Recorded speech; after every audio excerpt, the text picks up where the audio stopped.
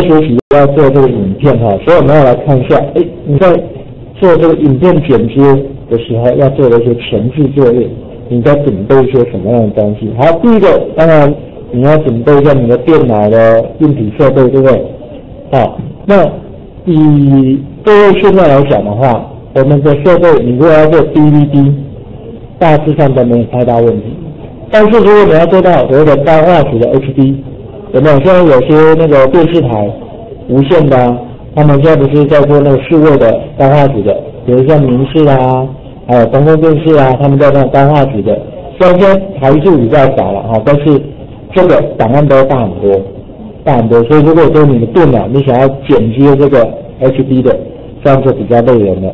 好像我们一般看那个日本的那个什么，呃 NHK 啊之类的也是，啊都是一样。你如果家里面假设你以前没有呃，就是没有接第四台，那是看的是就是那个原本的类比的，今年就停掉了嘛，知道吧？今年不是要变成数位的吗？全部都数位化了哈，所以那个就要再去买一个机上盒才行。那软体的部分呢？其实软体的部分就还好啊，对，硬体当然你还是可以有什么，要那个摄影机比较好。那如果没有也没关系，因为对于你们现在的手机啦、数位相机是不是都可以拍？对不对？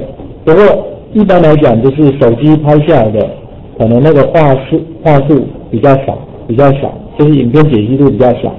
好，那数位相机也是，还有它拍的时间可能没办法那么长。好，那这个软体的部分呢，就还好，因为慢慢的，像我们今天会跟各位介绍到的云端的，连软体都不用。好，所以以后慢慢你会发现，嗯，越来越多不会会上云端，上了云端之后。有一点你会比较难过的，因为它是计时收费或按月收费，所以根本你不用买软体，你也跑不掉，你只要又用了就要付钱，就没有软体大档的问题啦。啊，所以这个当然比较复杂的，它我们还是需要软体，但是比较简单的、比较普普及化的，啊，可能就会都在云端上直接运算完了。好，那接下来就是要做什么素材的收集喽。因为你要做影片，你要做导演呢，所以你要不要去找一些素材？包括你想要找一些影片的部分，比如说，哎，我们要请各位做偶像剧的精华集，那你要去找一下啊，哪些影片的桥段你比较喜欢的啊，比较重要的，你要把它找下来。有没有一些照片需要怎么样？需要去做处理的？好像我们上次学过的影像处理，把它做去过啦。还是做合成，对不对？好，那也要去找一些什么音乐啊，还有别的音效啊，啊，像这个比赛你要看布袋戏的时候，对不对？有没有那种天火地火的那种，啊，那种音效呀，哈，那所以你要去找，要找适当的音乐啊，音效都要。那么等你这些素材都收集好了，还做一件事情，就是要做一些格式上的转换。为什么？因为就，我们上学期有没有学会怎么把 YouTube 上的影片抓下来？我们学学过那个 FaceTube 哈加，当然你用别的也可以哈。好，那你加下来之后，看到都是什么 FLV 啊，或者 MP4 啊，那这些会相后你不见得能够用，剪接完你不不见能够用，所以你要你可以透过什么格式工厂之类的把它做一个转换。那照片也是一样。哎，对了，请问你如果用那个手机？你的手机拍下来的影片是怎么回事？照片没问题，大家都一样嘛，就 JPG 啊比较多嘛。但是影片是什么？对对对，影片的副档名就是三 GP，啊三 GP。那所以这个配称会也没办法用，但是格式工厂可以转。啊，就是说你可以把它转成比较一般性的格式之后，再把它拿到哪里剪接软里面来做。那再来你转好的可以做的就。要做剪接，做什么去无存金啊？对，哪一段要，哪一段不要啊？这些都要处理。那比较怕的是，哎，现在媒体亮相里面的常常移花接木，有没有？这这段话带来带来家要变成他讲的，哎，这样就比较不好了哈。所以这个呢，剪接的部分实际上我们就是要去处理一下啊，把一些你要的、不要的。把它剪辑一下，那这样就比较 OK，这样子没问题。所以其实前面这一段实际上就是在细化了，你要去收集一些素素材，才办法做哈。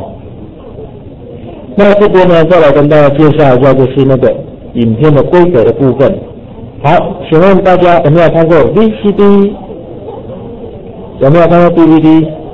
有没有去租过 HD 的？这个就比较没有了，对不对？因为 HD 的家里面还要什么蓝光的播放器，对不对？蓝光的 DVD，可能我们不做福建的人买。好，那蓝光的影片你在外面要租也比较少，有些电影也许有出啊，但是大多数的可能都还在 DVD 阶段，因为这个 DVD 大家比较普遍，甚至有些人直接怎样，不用买门票就直接看完院线片了，有吗？你们有没有买门票就在家里面把院线片看完的经验吗？哦，好，OK，那我们先看一下，请问 VCD、DVD、HD 哪一个品质比较好？VCD 比较好，你的眼睛一定 有被一种东西搞掉。你看我们 VCD 的尺寸只有多少？三五二二四零而已，有没有小？有哈，现在看起来觉得很可笑，对不对？可是以前到大学三年级、四年级的时候，哇，这个电脑能够上 VCD，就很了不起的。哎，那你到了 DVD 之后呢？七二零、四八零而已。所以为什么说这个档案比较大？你画质比较好，档案比较已经比较大。好，那你看，如果是 HD，HD 有分哦，要注意一下。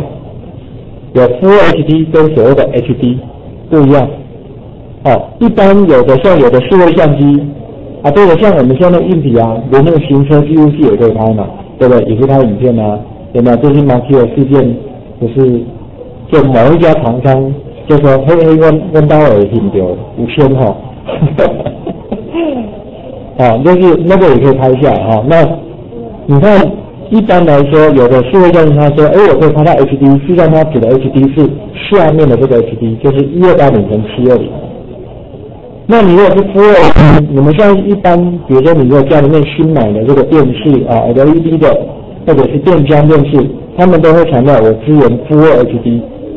Full Full HD 的话就要到多少？一九二零乘一零八零。啊，所以这个尺寸就不一样。那你就会发现，哦，真的。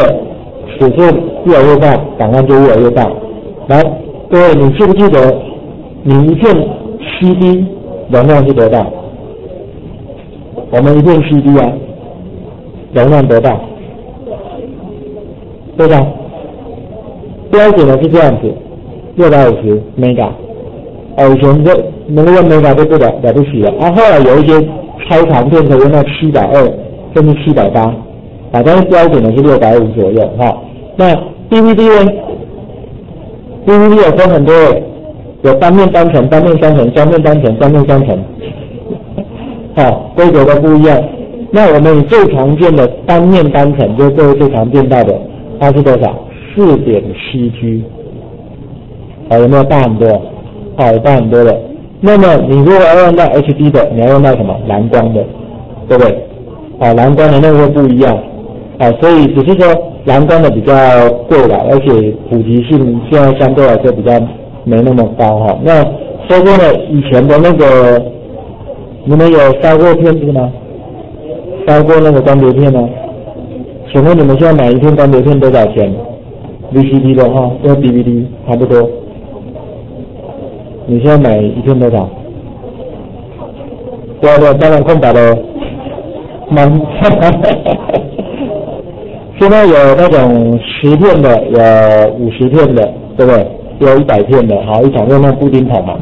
那你大概平均下来应该都要十块以下吧？大部分嘛都要十块上下吧。像我们以前我的那个作品集，我大学时候作品集，我把它烧起来，我那时候买的买的是金片，金片金那个是得两百哦，所以烧坏了就很痛。因为打工一个小时也才九十块，我们那时候呀哈，九十块烧坏一片就 要打工两三个小时才有哈。好，那我你如果配置比较好，其实像我的那个光碟片，我现在读的都还读得到。可是如果你们现在买的光碟片去烧，不用几年就读不到了。哎，我跟你讲，连光碟机现在都比较烂，这光碟机也用不了几年就坏掉了。哈，好，所以这样说有没有对这个规格比较清楚一点点的？啊，所以我比较了解的，那我们等一下呢，还要再往下看一下什么影片的格式哦。但是在往影片之前，我还是要跟各位介绍一下，上面有一个没介绍到的。我们事实上在用影播放影片的时候，事实上不同地区是不一样的。各位以前有没有看过录影带？不是前面有 A 的哦，录影带啊。录影带的话，以前有大的，有小的，而且怎么样？你在对岸，比如你在大陆看。在越南看，在日本看，可能格式都跟我们不一样。好，那所以说，其实我们台湾当然用的都是美规啦。好，所以你刚刚看到这些规格都是美规的。欧规的呢，比如说你如果去对岸，他们就用欧规的，那他们的规格就跟我们不太相同。早期我们那个录影带的话，你会发现，哎，台湾的带去那边不能看，为什么？规格有点换。那现在的话，因为都是用 DVD 播放器比较多，所以其实大部分的内建两种都支援。甚至你在电脑上看根本就没有差，啊，加面上比较会有影响。好，那另外这个的话呢，这个是苏俄的以前的苏联，啊，现在变成俄罗斯了哈，所以这个是不同的规则哈，不同国家会有不同的那个制定的规则。